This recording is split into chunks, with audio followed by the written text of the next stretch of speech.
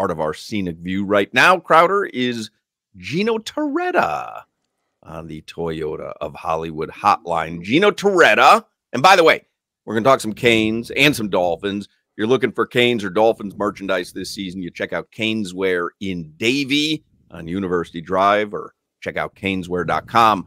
But Gino Torretta, the Heisman Trophy winner, he joins us every week, talk a little football. Gino is the ambassador for Evenings Delight, South Florida's source for all outdoor kitchen, grilling, and tailgate needs. They have a full line of grills, smokers, charcoal pellets, fuel. Gino loves to grill. Crowder loves to grill. Evenings Delight. They have two locations, Pinecrest and Davie. Evenings Delight is South Florida's source for big green egg grills, accessories, seasoning, sauces, and more. And by the way, Gino's touchdown radio as the Georgia Kentucky game this Saturday. Uh, oh. Gino will be on the call from Kentucky. How how would hello Gino? How hello. would the Canes hold up? And I know we've only seen two games, but one of them was against Florida. And how would, in your opinion, early on in the season, the Canes hold up against a team like Georgia? Well, I, am not sure how anybody is going to hold up against Georgia because they've they've they've really reloaded. They, they're a very talented group, but I I, I think that uh, listen, Georgia plays tough. Miami and and uh, and Mario's got UM playing tough, kind of that Saban, you know, coaching tree. Syracuse, another Saban guy. They're actually playing tough. So I, I know this. It would be a physical physical battle. I think uh, for this this weekend, uh, if you can give me some talk show topics. Uh, I would love to have them for the game because you're going to go, need material other than the I'm game. I'm going to go out on a limb here, and uh, let's see. They haven't beat a number one. Kentucky has not beaten a number one ranked team uh, in a long time, and it's not going to start because they got smoked against South Carolina last weekend, uh, and South Carolina is not near the team that Georgia is. So. Gino, talking about that, well, now, now we know and everybody wants to do the widespread offense and the quarterback gurus and all this stuff. Every time we talk about football, it's about whooping somebody's ass in the trenches, and that's the teams that are good. I, it, it hasn't changed that much because I remember the power, you know, the power by, and you remember running, running powers and running posts and all that downhill stuff. Those are the teams that still win, or you can win without doing it, but I think the teams that win consistently can do it. Well, point of attack, you know, you know as well as I do. Defensively, every coach is going to be like, stop the run, make them make them one dimensional, make them throw the ball, stop the run. Uh, on the other side of the ball, I would say this: schematically, what we did at Miami when I was there is very similar to what they're doing now. One back, spread it out, but the addition of the RPO where the quarterback is a run threat because you know from all your game film, you have a one person advantage when the quarterback takes himself out and throws the ball. Well, when the quarterback's actually running it, if you all 11 guys aren't on point, then there's going to be a big hole. And I think that that's where the additional threat against defenses is today is, you know, when I came out, it was watching Marino and, and, uh, you know, in Montana and those guys sit in the pocket and just, just deliver the ball accurately. Now it's okay. Our guy under center has to run and he's got to be a legitimate – threat running the ball where you know, listen, you watch, we all watch Lamar Jackson, and I just marvel how somebody can be in that physical shape and and to mentally operate in a game like he does. Because you know as well as I do somebody rips off a 15 20 yard run they're exhausted. Most of the time running backs hitting their head let me out of the game. Lamar's back in the huddle on that. So I, I would just like the quarterback threat of the run game is uh, is a total difference maker and makes it that much harder on the defense to stop the other team. What what would what would have your over under on rushing yards have been during games that you were a, quarterback well, for? Like, I'm going to say this. I'm going to say this, and, and if you want to win a bar bet of of the Miami great quarterbacks, who's the only one that's that uh, had positive yards rushing at the end of his career, and that Stop was it. yours truly. Stop it! Really? I swear to God. How many? My, now listen, my longest, I had a third and 13. I rushed for 14 against Florida State. I think my longest in my career was 16, but I might have ended with like 32 yards positively in rushing. Now, that was back in the old days where sacks went against the quarterback. Sacks oh, don't go against right. the passing game, sacks went against your running game. So, uh, you know, it, it, was funny this past weekend doing Colorado and, and Nebraska. Nebraska had zero yards rushing in the third quarter, and Shedeur Sanders was like minus thirty. So it was, you know, it was it was uh, it was interesting. But uh, I did end with positive yards. If you're going to give me an over under on the game, uh, man, if they if they first off, the bookie's an idiot for giving a line on my rushing have total. To be a half yard, two, no, right? Two yards, three. I mean, I you know I don't know because I've got Tua tonight over four and a half because he he no like week one his over under was two and a half yards. He doesn't look to run. See, the, here's a reason why you're a gambling degenerate and why yes. I would never bet that line because you could get totally screwed by an official if he runs in the clear and he starts to slide. They kill the quarterback. They take two yards from the quarterback as soon as he stands up and starts to slide. That could be your bet right there or a kneel down at the end of the game. That counts against rushing yards. Really? It doesn't wow. but the kneel down does. Yeah, you can uh, And you're still taking that. Oh, I mean, gladly, and and and at halftime, I'll probably I'm just, walk I'm just curious, the, just like on the, an average on an average game. So this is a game you know the team. Like, how many bets are you placing? Are you like parlaying? So like I, t- I 10 different parlays okay. and so tonight I, I said at the beginning of the show that i have three bets rolling tonight I, I did put one more bet in during this last commercial break. So I have four bets tonight. Here's what I have I have Tua over four and a half yards rushing. Okay. I have the game total over 49. I have Tua anytime touchdown at plus 500, meaning he's got to run the ball in, not throw it in. Like he's got to run the ball in. That's a that's a long shot. That's a flyer. And I just took what. another I just took another flyer during the commercial break uh, because the the over unders on passing yards for Tua and Josh Allen are like in the 230s and 260s, I think. Um, I took I parlayed them both to have over 300 yards passing. So the odds are very high. It's a long shot flyer, but I could see an aerial uh, attack tonight. I, th- I think I've heard this before, and it's probably been on your show. Just Venmo me the money and I'll let you know how much you lost. I tell them all the time, Gino. as uh, as Defo once uh, as Defo once said to me, he said, "My mom calls me and she'll leave me a voicemail. I haven't heard from you in a while. Call me back. It's called one eight hundred admit it." you know it's bad when your mom's telling you, telling you got problems. But I never gamble more than I can afford to lose. I had a good uh, had a good weekend on uh, on week one. And then what did I just win the other night? Oh, so I'm uh, curious. Was, is this is this like um you know because you're supposed to account for it in your tax season? So do you file like put it oh, in your taxes? I don't ever end up positive. So if, if I account for well, it, that's it's good. Losses. If you don't end up yeah, positive, yeah. then you should be writing it off. I've, in in uh, 54 years of life, I have never ended up in the positive at the end of a year. You know, you know what they say? Those built those casinos weren't built on winners, Hawk. Maybe take take that advice. right. every time I walk, every time I drive past Hard Rock, I always go, "Look at what I built." And a lot of people think I wouldn't account. Uh, wouldn't, yep. wouldn't add up to much. You walk in hard right. They say, "Hey, dummy." I'm sorry, Mister Mister Crowder. How you doing? I say, "What you call me?" Gino Torretta, by the way, joins us every Thursday on this program. We talk some football, and he is brought to us by our friends at Evenings Delight, South Florida source for all your outdoor kitchen grilling and tailgate needs. And again, Evenings Delight is South Florida source for Big Green Egg grills, accessories, seasoning, sauces, and more.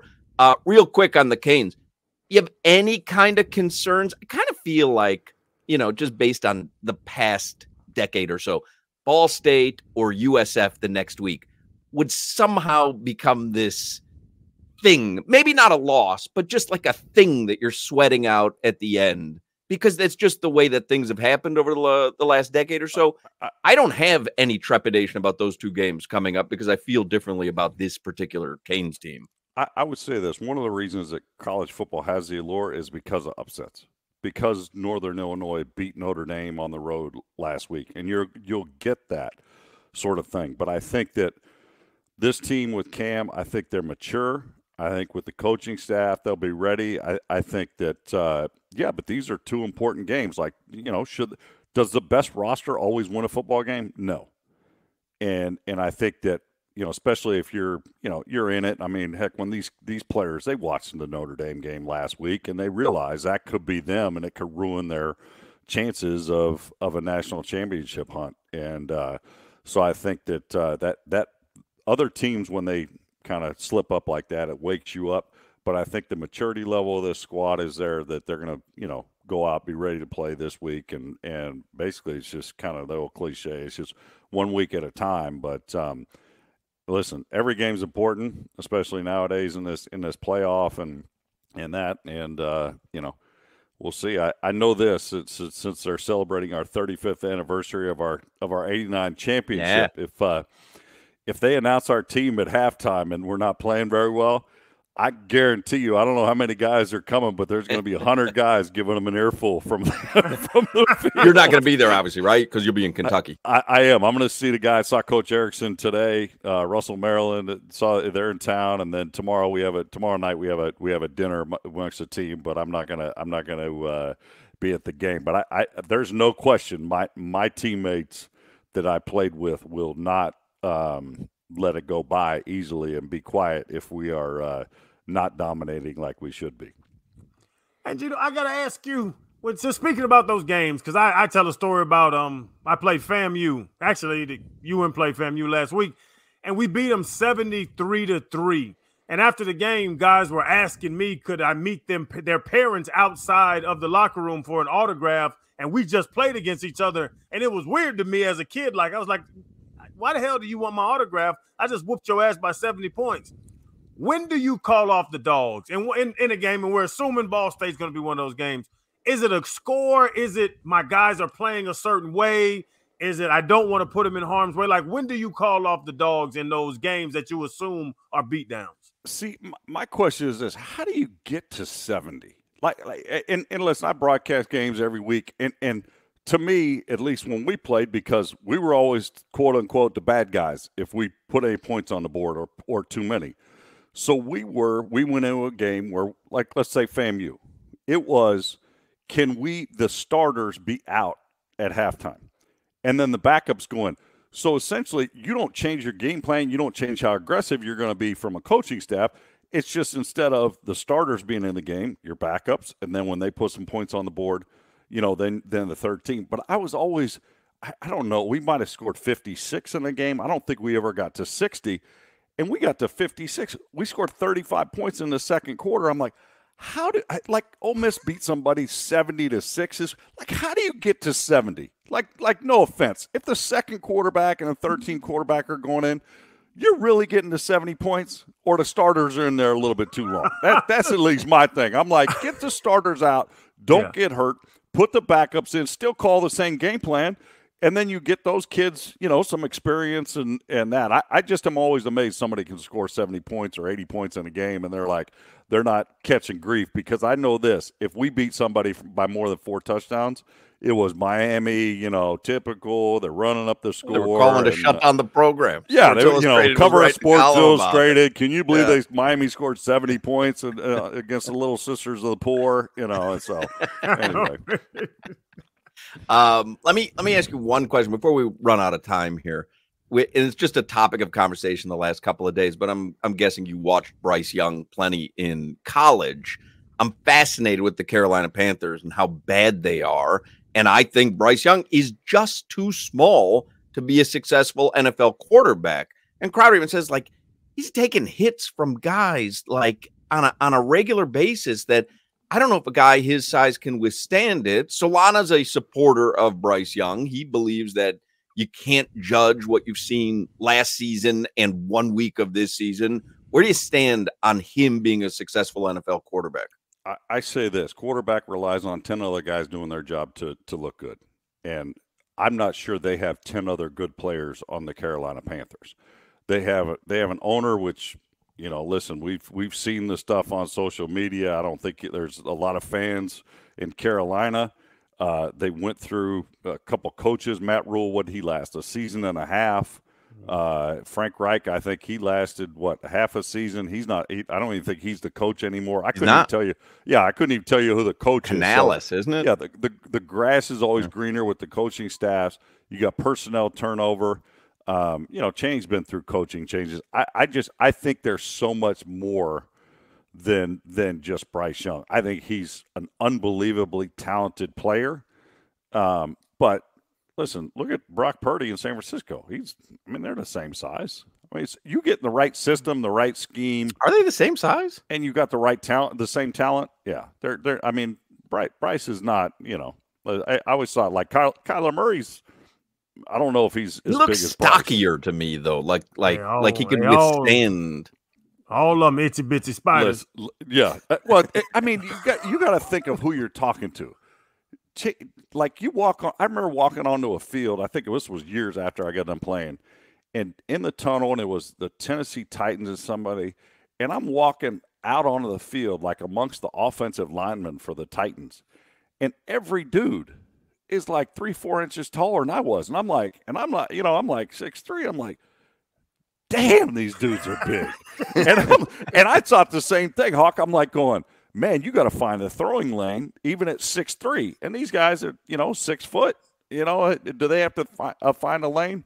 But man, they they traded away, you know, their best receiver. I mean, they're they are not good. I mean, like if this was a soccer deal, it'd be relegation. No, no. But it's not on Bryce Young, in your opinion. No, he's just he he can only. I mean, like he can throw. It. Like if we went out and played seven on seven, you'd be like, damn, this kid's accurate as hell. I mean, there was questions about Tua until he did it.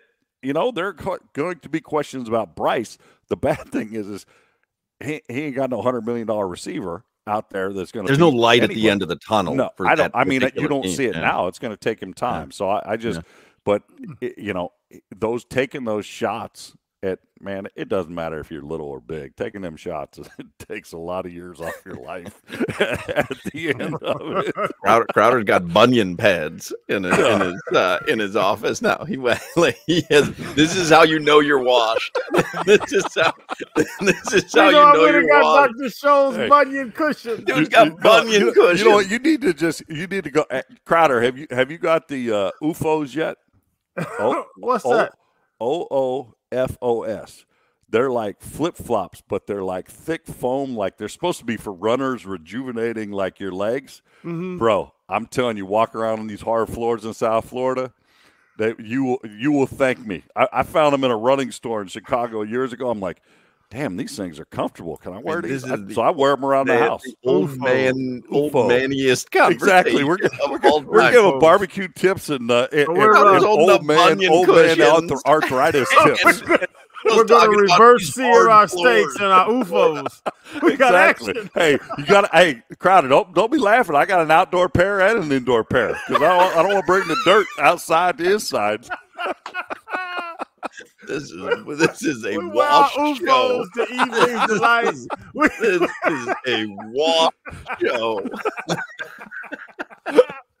um, Gino Torretta, he's out with us every Thursday, courtesy of Evening's Delight. And I and I say uh, these big green eggs, and we're really out of time. But why does everyone love those? You know, I'm not a grill master. Why does everyone love those big green eggs? Because you can get you can go low and slow. You can go hot. I mean, them, them girls get 700 degrees like quick. Um, and then you can you get the smoke real fla- the charcoal flavor but you can do pizzas on them you know i know you're a big pizza guy you can mm. put the the uh, pizza ceramic on it you can heat up grill grill your wings i mean it's basically you can use fire or you can just use low and smoke low and slow smoke and uh, and that but they are they are phenomenal and they're multi uh, faceted from the standpoint of you know, since you're an expert in the reverse searing method that, that we taught you last week, that you can go low and then you can then you can open up the vents and sear the heck out of your meat at the end, get a little crispness from the inside out. That is. Can I can I reverse sear on my George Foreman grill?